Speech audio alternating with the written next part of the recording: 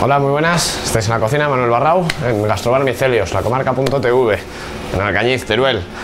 Estamos ya llegando a las calores, calores, y vamos a hacer una ensaladita de patata, una ensalada campera, ¿no? Que se llama, o ensalada española, que también la conocen por ese nombre. Es una ensalada muy sencilla, como bien dice, son productos que vienen del campo y a ser posible de ahora de temporada, ¿no?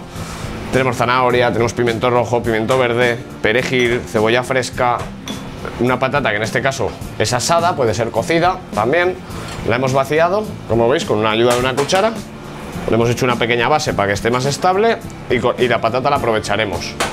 Y simplemente lo vamos a alinear con un poquito de atún, el huevo duro, aceite y vinagre de jerez. Es muy sencilla, incluso le podéis añadir más ingredientes que los que veis aquí o incluso quitar, sin ningún inconveniente. Un plato o un bol donde vamos a hacer la mezcla, pondremos la patata, que ya la hemos troceado un poquito, así de forma grosera.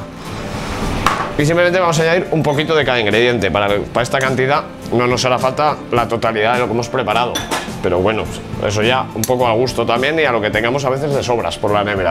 Son cositas que con un poquito de cada podemos hacer algo bonito, ¿no? Y sabroso. Fijaros, simplemente lo vamos añadiendo. La cebollita, si queréis le podéis poner un ajito picado, sin ningún inconveniente, también le va perfecto. Anchoas, salmón ahumado, gambas. ¿Qué nos gusta con pescado? Jamón york. Es decir, hay, hay diferentes opciones. Vamos a hacer un poquito, un poco de todos los ingredientes.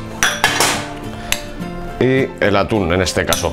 Es atún en aceite, también puede ser escabechado, pueden ser anchoas, incluso sardinas ahumadas. Aquí solo os doy un poco la idea, ¿no? La idea es la patata con las verduras y luego ya suele llevar algún encurtido y va aliñada, aliñada con una vinagreta. En este caso de aceite y vinagre. Incluso podéis mezclar las verduras, hacer una vinagreta y ponerla por encima de la patata, es otra opción. Nosotros vamos a ir a la mezcla total, ¿no? Un poquito de todo, lo sazonamos y le ponemos vinagre y aceite. Aceite siempre de aquí del Bajo Aragón y en este caso vinagre un poquito de jerez. Vamos a echar unas gotitas, no demasiado fuerte tampoco. Igual se me ha ido la mano y aceite. De esto sí que hay que ser generosos, que es lo que nos va a dar un poquito facilitar que nos pase, ¿no? Esta verdura. Y aparte que es que está buenísimo el aceite que tenemos en esta zona. Lo regamos generoso. Y ya simplemente lo trabajamos un poquito. Y con esta mezcla rellenaremos la patata. Ya lo veis, que color enseguida coge color. Y es sabrosísimo y muy refrescante. Y se puede dejar preparado incluso de un día para otro sin problemas. Hay que le pone olivas, olivas verdes, olivas negras, a vuestro gusto. Olivas con hueso, sin hueso. Ya sabéis que yo os doy un poco la idea y luego las variantes las adaptamos. A mí me gusta mucho con pepino también. Es otra opción que también la noto muy refrescante. Ahí ya os dejo un poquito también a lo que os guste más ponerlo y a lo que no quitarlo. Hay quien también lo traba con mayonesa, en lugar de una vinagreta pone un poquito de mayonesa y luego simplemente pues ya rellenar la patata.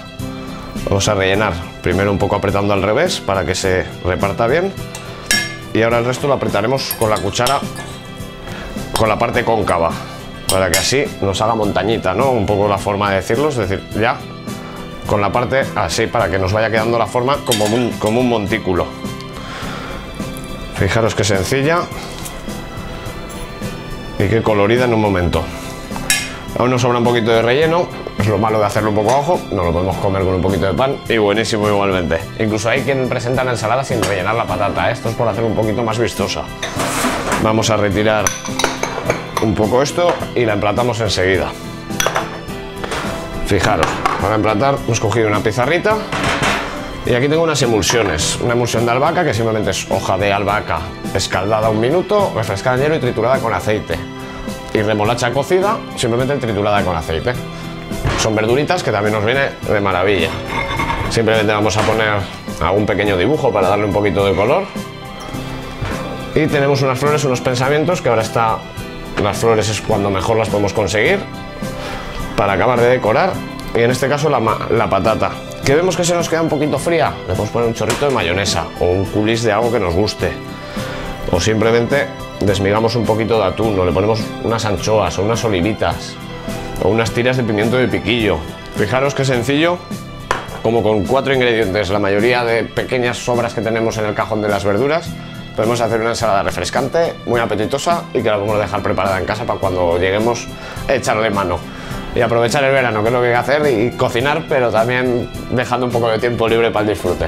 Que vaya muy bien, la semana que viene tenemos otra cosita. Hasta luego.